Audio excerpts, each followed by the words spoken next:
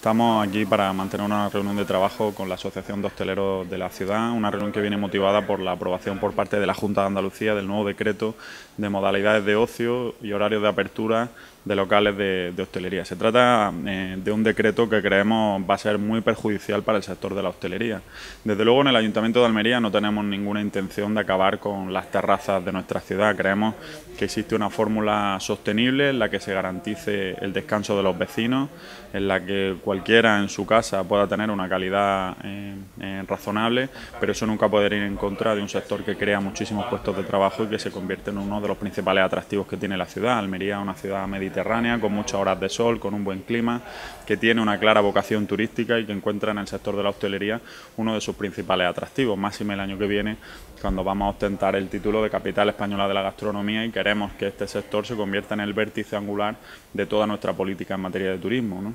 Y es por eso que hoy mantenemos aquí una reunión, primero para ponernos a su entera disposición. Tenemos a todo el equipo de la Gerencia Municipal de Urbanismo trabajando para ver de qué manera eh, podemos eh, regular la aplicación de este decreto. Un decreto que creemos que, más, que mata mosca a cañonazos. Eh, estoy seguro que existen otras fórmulas para poder, como digo, conciliar los intereses de los vecinos y los, y los intereses de la hostelería. En cualquier caso,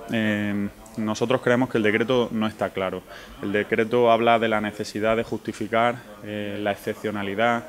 en la instalación de las terrazas. Eh, se trata de un aspecto que en los propios técnicos, en los diferentes ayuntamientos, no terminan de ponerse de acuerdo y es por eso que vamos a solicitar formalmente una instrucción que aclare ese punto del decreto y en tanto en cuanto no se dicte esa instrucción y todos los ayuntamientos, todos por igual, tengamos las mismas normas, no puede ser que en unas ciudades haya más o menos facilidades que en otras, en tanto en cuanto no se dicte esa instrucción, nosotros vamos a solicitar la suspensión eh, cautelar de este decreto que, como digo, creo que, que matamos cada cañonazo y que la solución para garantizar el descanso y la confortabilidad de los vecinos no puede ser acabar con todas las terrazas en Andalucía. Hoy lunes, la verdad es que nada más tener contactos telefónicos, el alcalde se ha ofrecido para tener esta mesa de trabajo y bueno, pues ese decreto de la Junta de Andalucía, ese nuevo nomenclator de, eh, en relación a la hostelería y a las terrazas y a la ley del ruido, pues que es cierto que es muy generalista y tenemos que ver caso por caso y la verdad es que hay muchísimos miles de puestos de trabajo que dependen no solamente de Almería, sino en toda Directamente de las terrazas de nuestra, de nuestra región y bueno, queremos ver de qué manera podemos llegar a un acuerdo porque el turismo es pues, un sector estratégico en nuestra economía.